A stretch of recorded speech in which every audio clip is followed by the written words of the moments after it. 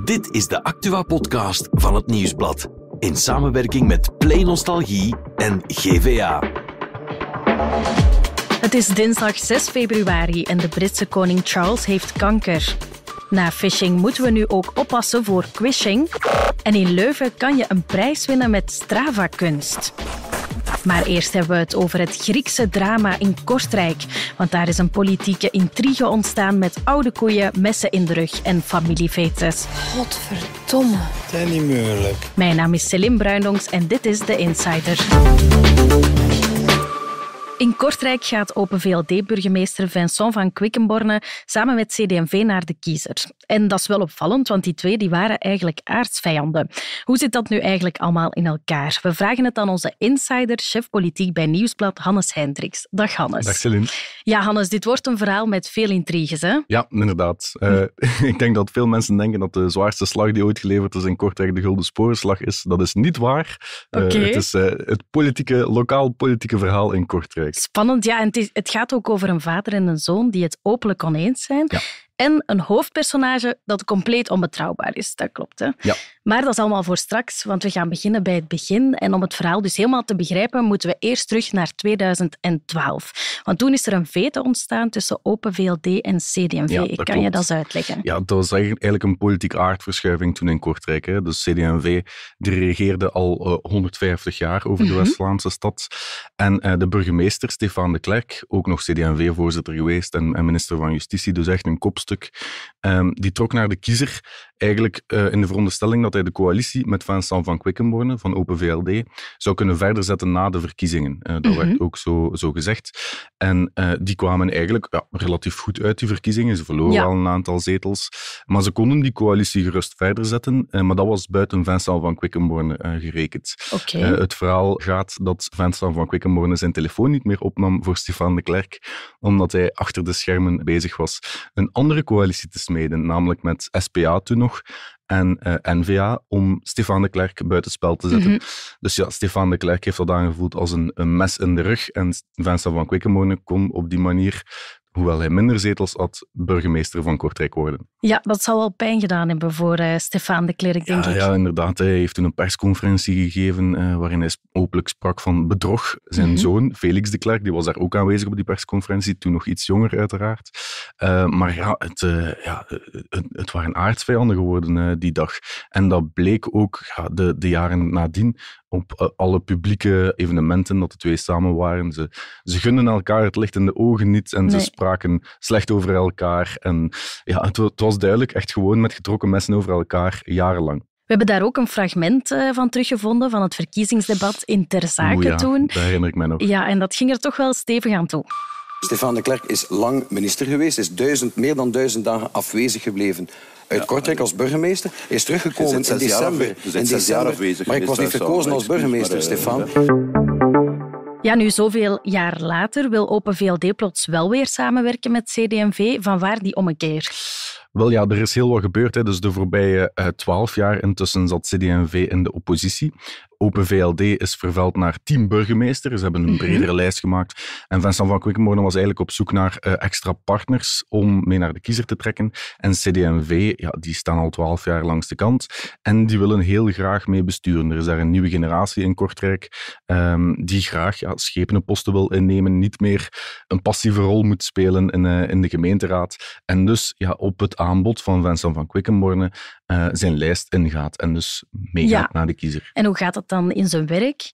Ja, dus ze gaan een brede lijst maken. Het team burgemeester, CD&V, die gaat daarin op eigenlijk, want ja, de naam CD&V zal niet meer bestaan uh, okay. in, in, Kortrijk. En pittig detail, op de persconferentie waar dat gisteren allemaal is aangekondigd, was ook Felix de Klerk aanwezig. Dus de zoon van Stefan de Klerk, okay. die dus ook meestapt in het project van Vincent van Quickenborne, de aardsvijand van zijn vader. Ja, dat is wel opvallend eigenlijk. Ja, ja, inderdaad. Te meer omdat uh, Stefan de Klerk, uh, verschillende journalisten hebben hem gebeld en Mhm. hij is toch niet echt gelukkig met de move Nee. van, van zijn zoon. Dus um, ja, volgens Stefan de Klerk kan die strijdbijl nog niet begraven worden. Die vete uh, leeft heel, heel duidelijk Mhm. nog. Uh, maar Felix de Klerk, ja, die stapt er toch in mee, Ja. net als zijn partijgenoten. Wat vindt uw vader hiervan?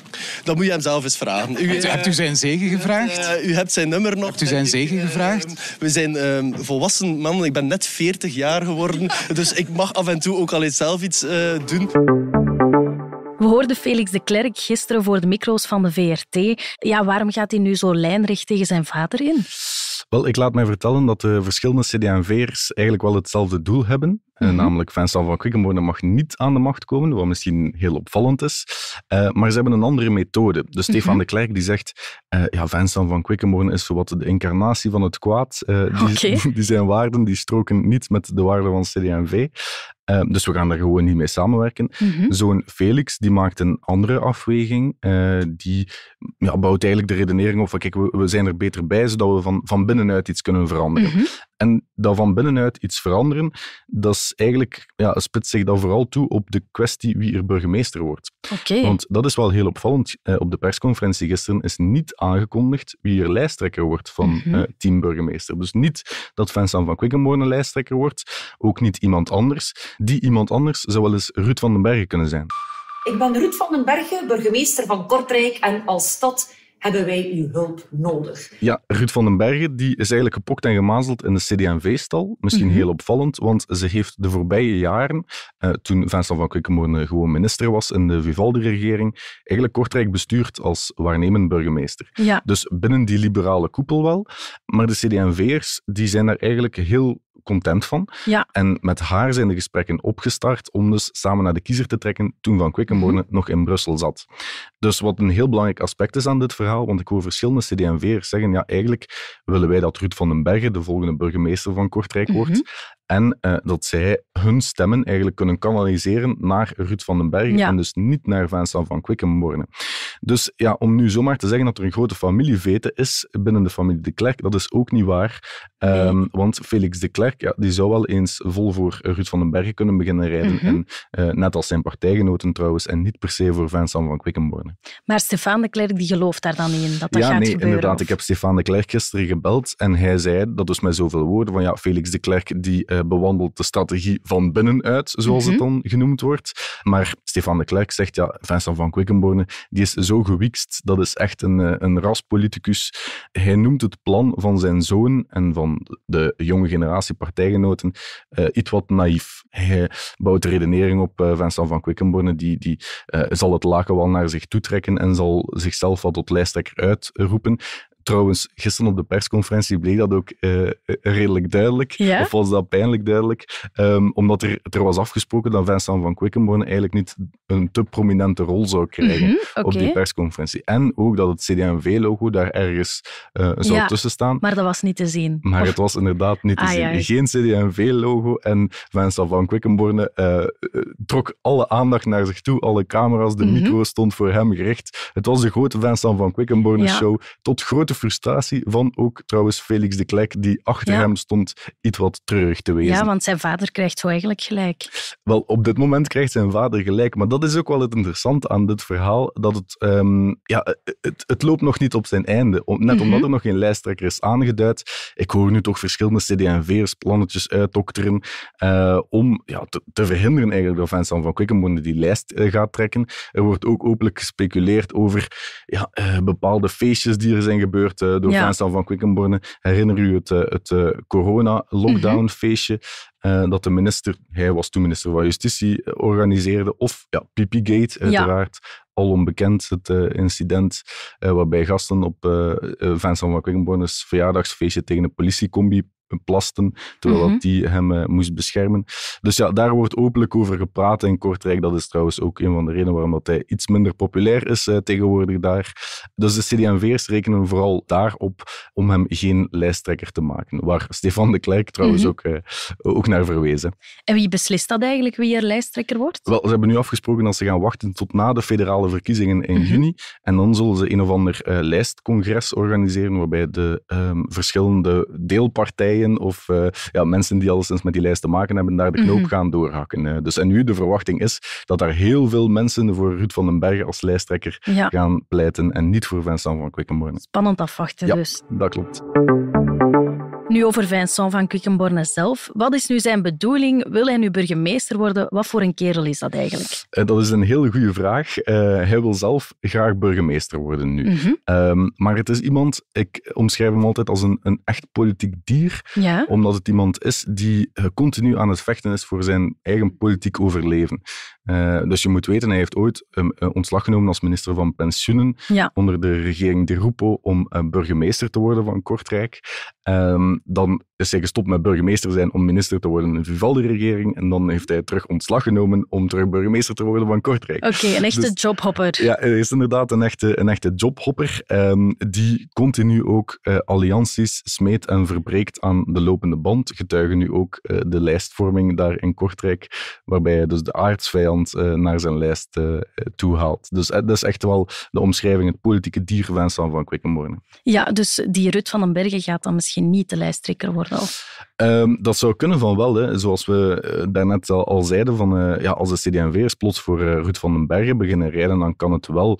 Um, er is binnen CD&V wel veel ongenoegen over de manier waarop dat Vincent van Quickenborne aan politiek doet. Mm -hmm. um, dus ja, ze zijn lovend over Ruud van den Bergen, maar bijvoorbeeld het feit dat Vincent van Quickenborne eerst gevraagd heeft aan Vooruit en NVA, dat zijn de huidige ja. coalitiepartners daar, uh, om mee in kartel te gaan, richting de kiezer, ja, dat ja, zet toch wel wat kwaad bloed binnen CD&V, want dat geeft voor hen het beeld alsof het helemaal niet uitmaakt wie er samen met Vincent van Quickenborne een kartel maakt, of het nu socialisten, Vlaams nationalisten mm -hmm. of christendemocraten zijn, het maakt precies niet uit.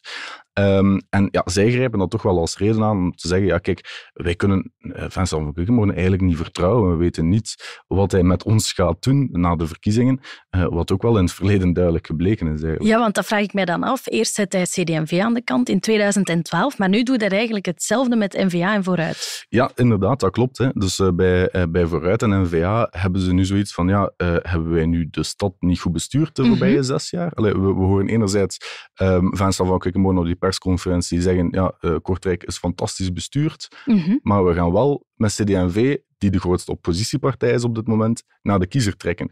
Dus ja, ja zij vinden dat eigenlijk helemaal niet logisch. En NVA en Vooruit, ja, die hebben nu zoiets... Ja, zij kunnen nu in de, in, in de markt zetten, ja, Vincent van Quickenborne eigenlijk doet dit enkel voor de postjes en voor um, zijn eigen politiek overleven en niet voor ja. de stad Kortrijk. Wat voor hen ook wel geen uh, onaantrekkelijk verhaal is, uiteraard. Uh, zij kunnen zich zo positioneren als de grote uitdagers van mm -hmm. Vincent van Quickenborne. Na alles wat je mij verteld hebt, komt Van Quickenborne niet echt betrouwbaar over. Hè? Hoe kijkt Kortrijk daar nu zelf naar? Wel, ik kom uiteraard zelf niet uit Kortrijk, maar we hebben wel een peiling gedaan met het Nieuwsblad uh, in oktober van vorig jaar, waarbij we in alle centrumsteden eigenlijk de populariteit van de burgemeester en de uitdagers hebben gepeild. Mm -hmm. En daar kwam wel uh, duidelijk uit uh, naar voren dat Ruud van den Berg eigenlijk veel populairder is dan Vincent van Quickenborne in okay. Kortrijk. Dus 21% van de Kortrijksanen wil Ruud van den Berg als burgemeester en slechts 9 wil Vincent van Quickenborne.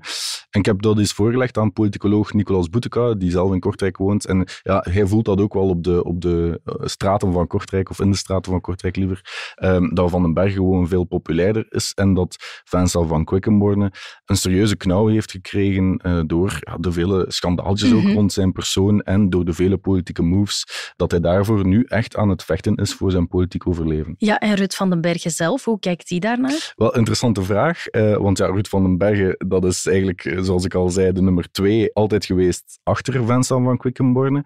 Uh, maar zij heeft, toen we die peiling uh, gelanceerd hebben, ons wel de quote gegeven dat ze wel graag burgemeester zou worden. Oké. Okay. Dus wat het wel interessant maakt, en zeker nu dat CD&V erbij komt op die lijst, zou het wel eens kunnen dat Vincent van Quickenborne het paard van Troje heeft binnengehaald en ja. zo ervoor zorgt dat Ruud van den Bergen burgemeester wordt. Want, dat is geen onbelangrijk om te vermelden, de nieuwe regels bij de lokale verkiezingen in Mhm. 24 zijn dat degene met de meeste stemmen van de grootste lijst ja. automatisch burgemeester wordt. Dus als Van den Bergen meer stemmen haalt dan Van Quickenborne, dan is zij burgemeester. Oké, okay, heel spannend. Ik ben heel benieuwd hoe deze ja, saga gaat ik uh, eindigen. Ja, dan zullen we nog een insider moeten opnemen. Hè, ja, denk ik. dankjewel Hannes om dat allemaal toe te lichten heel voor graag ons. gedaan. En er is ook nog ander nieuws en daarom is Nathalie erbij komen zitten. Dag Nathalie. Dag Celine. Ja, we beginnen met slecht nieuws vanuit het Verenigd Koninkrijk, want koning Charles die heeft kanker. Ja, was op zijn 74ste op de troon, nog een jaar later die diagnose gekregen. Mhm. Het zou niet om prostaatkanker gaan, dat werd eerst gedacht omdat hij geopereerd moest worden aan zijn prostaat. Mhm. Maar tijdens die ziekenhuisopname werd er een afzonderlijk probleem opgemerkt. Ehm, alleen ja, ze zeggen niet over welke kanker het dan zou gaan. En dat doen ze mhm. bewust, want dan slaat iedereen aan het googlen en heeft iedereen daar een mening over. En dat zouden ze willen vermijden. Oké, en ja, wat betekent dat nu eigenlijk? Goh ja, Buckingham Palace maakte al bekend dat Charles zijn publieke taken uitstelt. Dat vooral prinses Anne die zal mhm. overnemen. Hij zelf wil wel nog zoveel mogelijk doorgaan met zijn staatszaken en officieel papierwerk en zo.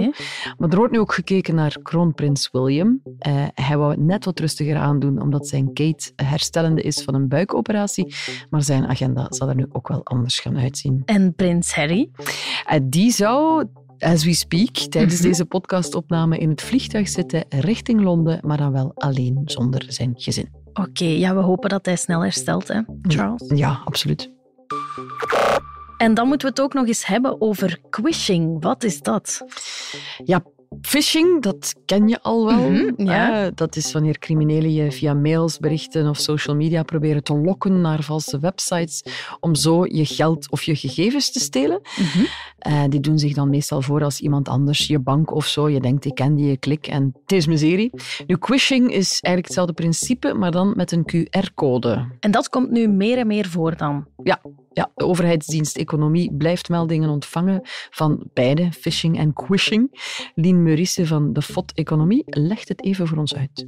Dus die QR-codes zijn die vierkante vakjes die je met je gsm kan scannen en waarmee je meteen op een internetpagina verschijnt. En bij quishing worden er ook via e-mail, sms of WhatsApp berichten gestuurd, maar daar zit een valse QR-code in. En die lijken heel vaak van een officiële instantie te komen, maar het gaat dan vaak over zogezegd een boete of een rekening die je dringend moet betalen.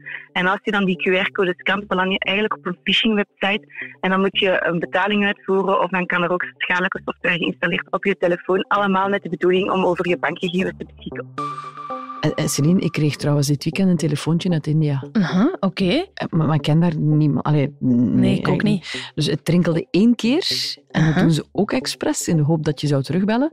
Ik heb dat niet gedaan. Wangiri Wangiri, dat. dat. ken ik niet. Dat is Japans voor één keer laten rinkelen.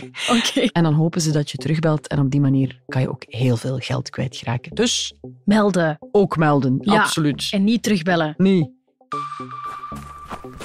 Ja, en dan hebben we nog het regionieuws en daarvoor gaan we naar Leuven deze keer. Want de stad die wil dus inwoners motiveren om te bewegen en je moet dat dan combineren met kunst. Wat moet ik mij daarbij voorstellen? Ja, het is niet dat je naar kunst gaat kijken of zo, nee. Um, maar je moet wel in figuurtjes lopen of fietsen. Oké. Ja, Strava dus. Die app. Als je dan gaat sporten, dan uh, volgt die, die app jouw traject en kan je achteraf op zo'n kaartje zien welke route je hebt gelopen. Mhm. En Leuven wil nu dus de inwoners laten bewegen in de vorm van een Olympisch figuur. Oké. De ringen bijvoorbeeld, of de vlam, of een specifieke sport zelfs. En waarom? Ja, wel, ik, ik heb ook zoiets van, waarom zou je dat in godsnaam doen? Ik vind sporten op zich al vermoeiend genoeg. maar er valt iets mee te winnen. Wie een origineel en olympisch herkenbaar parcours laat zien, maakt kans op een duo-ticket om naar de Olympische Spelen in Parijs te gaan. Oké, ik ben heel benieuwd welke creatieve vormen daaruit gaan komen. Ja, ik ook. Dankjewel Nathalie om dat uh, toe te lichten voor ons. En morgen zijn we er weer met een nieuwe Insider.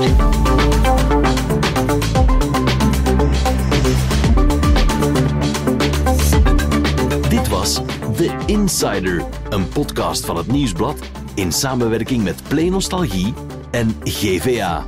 De muziek is van Pieter Santens. De montage gebeurde door House of Media. Wil je reageren? Mail naar podcast.nieuwsblad.be.